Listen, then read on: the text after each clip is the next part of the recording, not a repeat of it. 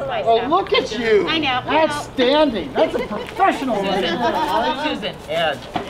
Together, because this is what bonsai is all about, is that we're talking with each other and, and playing with little trees and like um, Dennis showed us some pictures of what's going on. We kind of talk about, I mean, that's really where we get the most oomph out of being in a bonsai club. So yesterday was our first time. We had six members out yesterday. Um, uh, for the first, our ever first, like, you know, back together with some people, and this is our second one, so I thank you for coming out and stuff, and really want to thank Elsa again for all the effort of putting all this together and everything, so.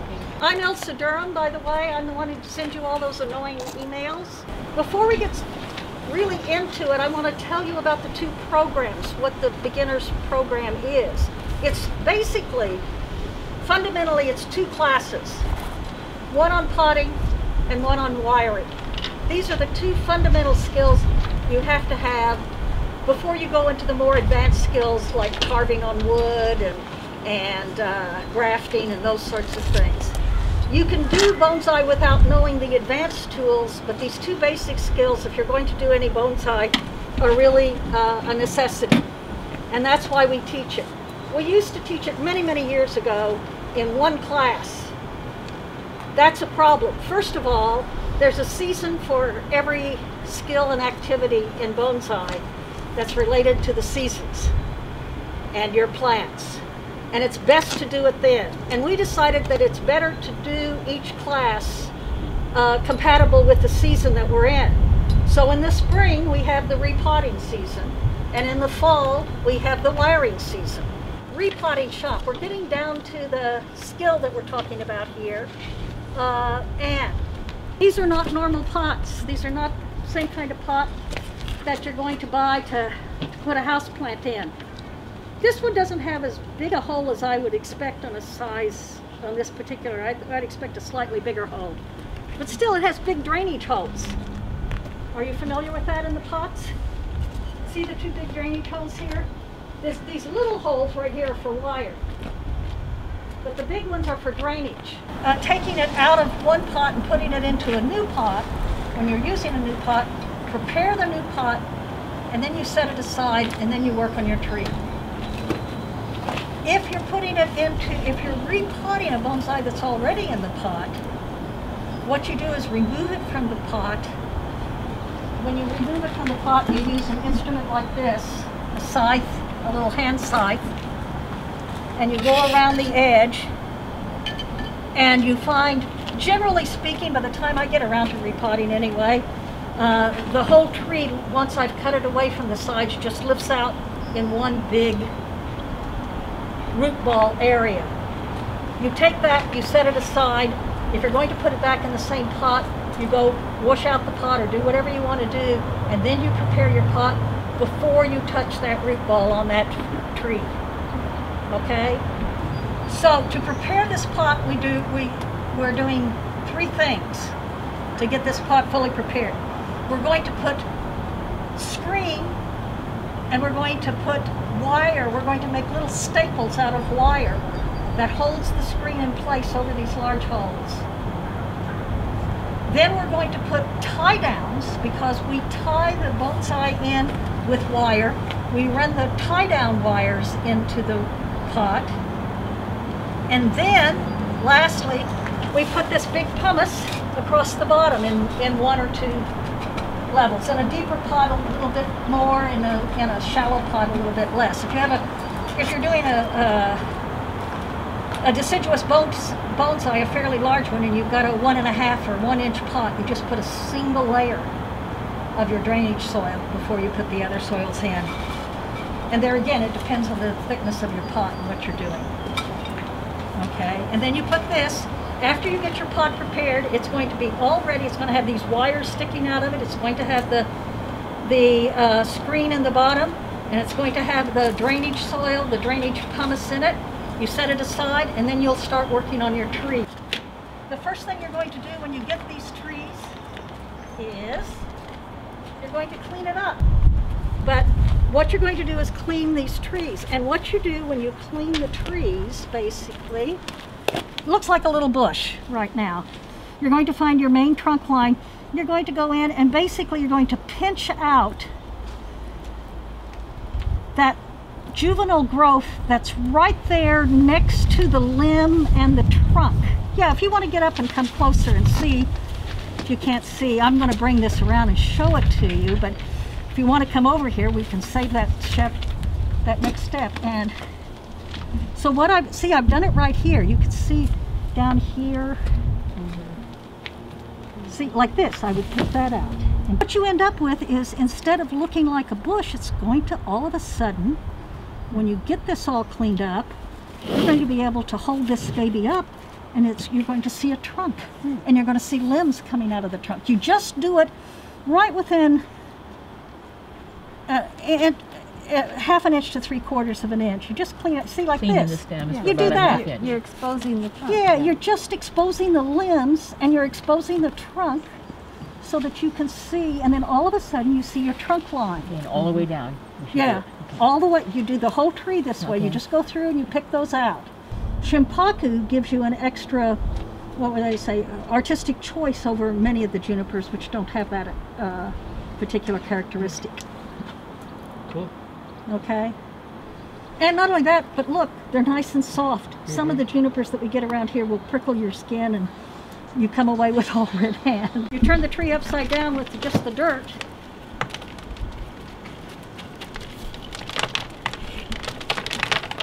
Like this. And you start taking the soil off because look, you're going to put it in this pot. Okay? And we're going to take the soil off. You're, we're going to start getting dirty here anyway. Sorry about that. But you're going to take the soil off and you're going to take some, and basically, uh, the other thing you're going to do is you're going to decide what kind of tree this is going to be out of those five styles that I told you about. And you're going to have to find the Nebari to do that. So after that comes from the top, you have to go down. And from yesterday, we found it wasn't very far because they've been in a pot for some time and they've gotten fairly substantial nebari. Generally, what I do is I set it down, and you'll notice the little squares on the screen. I try to leave about three on either side of it. And we're going to show you three ways to do these actually. One is is called the old U staple, and you take it down to a 90 degree like this and it's got to go through the pot. So you go inside. See this is way too long. And we're going to solve that. See that's an easy problem to solve is having the wire too long. There we go. Here's how I make a staple. I'm going to do the straight staple and then Ladd's going to show you how you do a butterfly. And I'm going to leave you to do the butterfly over here. I'm just going to show them what happens with this one. Okay? To do a staple, you lay the wire down about in half across there and about a half an inch out on either side of the outside of the hole. Okay? So you're holding it like this. And what you do is you just bend it like this. Now I've got some older folks here. Remember Zorro? That's what I always think of when I do this. See the old folks here. go, Oh yeah, we remember him when we were kids. And then you take your pliers and you do as a kid. this. You do it on a straight plane. You keep this on a straight plane. But you pull that together like that, and then open it up a little bit, and you do it over here to this loop.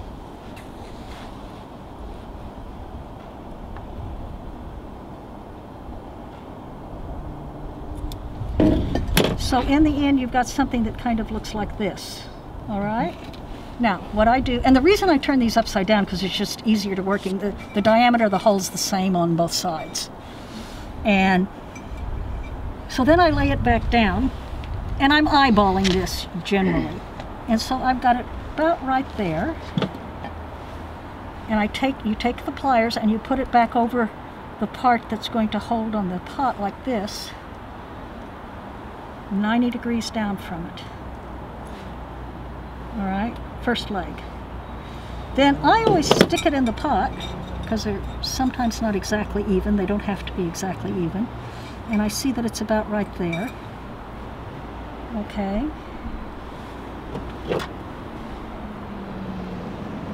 So the important thing here is that that, that these two legs that I've made going down at 90 degrees are going to go through that hole.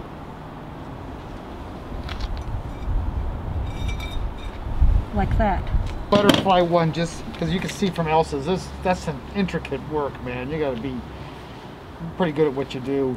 This is for just the uh, people who are just trying to get by. Okay. so what I do is I take the wire, whoop, like this, and I just wrap it around my thumb, like that, and pull it over. Turn it over. Take it, turn around my thumb, and this I got big old fat thumbs, made it, make it a little smaller. And so theoretically, that's kind of what it kind of looks like. Okay. So usually though, if I can, you, you get it, you don't have to use your thumb to like wrap it mm-hmm. around. You can just kind of give yourself a, a little bow, around and round. You want it so that the wire's going over mm. that wire there, mm. right? You know, so that's the butterfly. That's very critical, yeah. Yeah, yeah, and I like it too because it's adjustable, so you can move your little wires out for your hole now. You know what I mean? Where mm-hmm. else is you got to kind of have your precision and stuff like that. So this guy, you can take and you can just kind of go, oh, I'll move it in a little bit. Now it's the side on mm-hmm. my hole, right? So, and again, kind of like Elsa's, once you get your in the hole width, then you just put it in your down there so it comes out the same way so it's going straight out because if you put it different angles sometimes it'll flare out or in if depending on how it's going through the screen. And then like she said again you put it through and then what I like to do is I'll put my fingers on top of the um, where it's pinching over okay? And then I'll take my pliers and I just pull on it a little bit to get it so it's taut and then bend it over. Pull on it a little bit taut and then it's in there pretty good Yeah. right? And so, and, and really, like Elsie was saying, for the screen, you just want it where it's not going to be moving around, so that you know now soil can go through where it's not going to drain right. And then, as she said too, you just kind of pinch off the end so you don't curl them up like that. How, how much wire do you use for a tie down? Depends on your pot. Basically, two depends on that. If it's a deep pot, and this is a deep pot, this would qualify as a deep pot, you use the long side of the pot, two long sides and a short side. If it's if you're doing a deciduous tree and you've got one of those one and a half inch deep pots, you use two narrow sides and one long side. Each one of these go flat across this area right here. Mm-hmm. Because if you leave any gaps, you're going to have to cinch that up from the inside, pulling and twisting and pulling and twisting and pulling and twisting. If you eliminate any space here, you're going to minimize the amount of work you do later. If I'm home alone and I've got them crossed, I don't want them crossed, I want them flat across the bottom.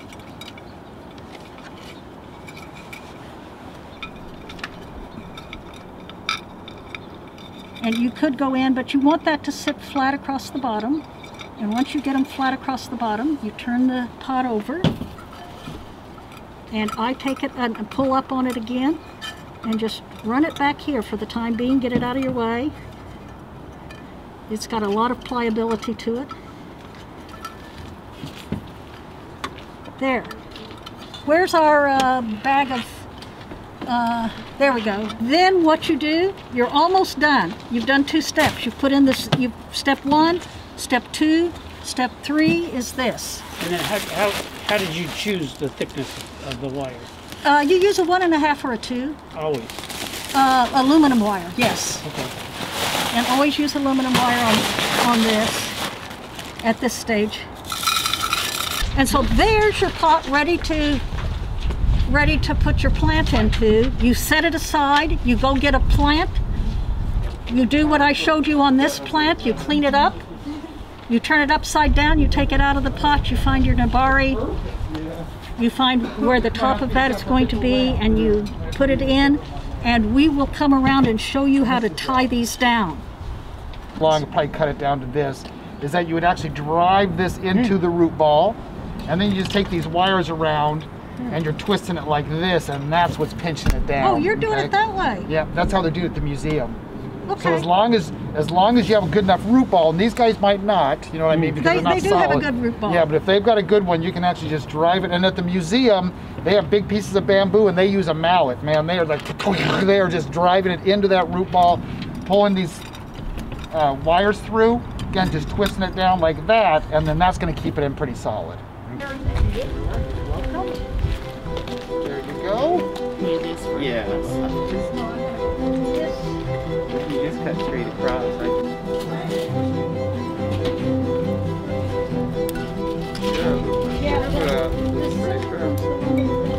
Okay. Thank you so much. Instead of just barely like coming out of the hole, and you just have to kind of pinch it over like that. So this one's That one's probably good enough. Yep. That's what I do. Yeah, I don't have. Twist it around like so. Right? Well, that's why I was watching that trick, and that was nice. The little Mickey Mouse ears. Okay. so I, I got the half here. on one side, so you want to hold your fingers like on the, the butterfly thing. So hold the top, and then I'll let you pull that I'm ready for you. and bring it You want to take the wire? Pull straight up. Yep. Yep. I got it. Perfect. I can feel. Yeah,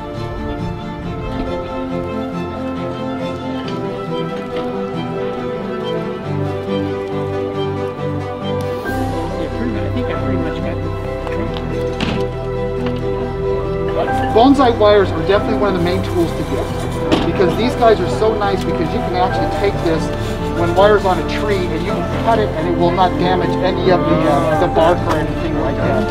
So bonsai wire cutters are probably one of the number one tools to get yourself just so because when you're doing copper wire, you can't undo copper wire. You actually have to cut it in little spaces and take it off. And you don't want to be destroying your bark while you're trying to cut off that wire. But this will literally like if you have your finger like that and you just put it in that water, it will not cut. I mean, it's an amazing little tool. So What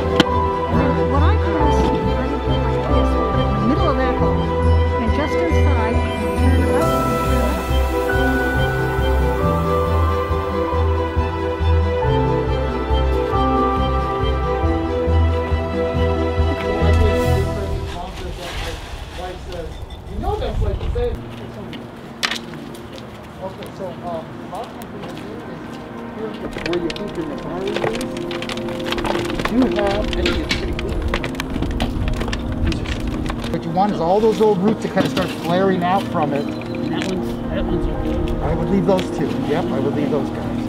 So how far down do I want So no, not much further down now because we found our Nebari. Now you're going to work on the bottom half Okay. to try to get it. And really, this is easier with the. Uh, Coming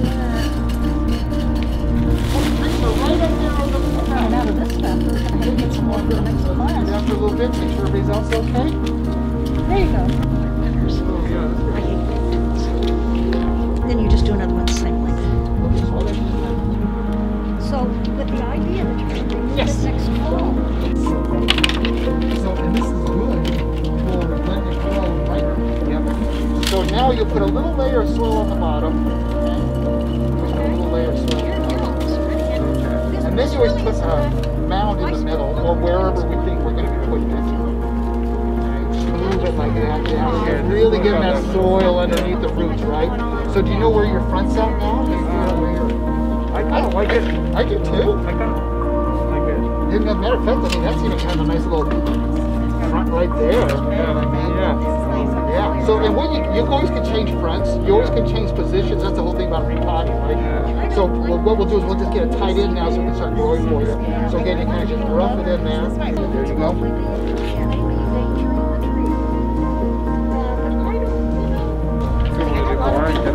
Yep. Yep. So you fill up the whole thing, and then I'm going to show you real fast how you start working it, and then I'm going to go help somebody and I'll back to you. There. And then you just poke this in, and you circle and push. Circle and push. See, you can like making a hole there, but you're pushing it underneath that root ball and trying to get anything. So you go over here, circle, push, circle, push. Okay? Hold.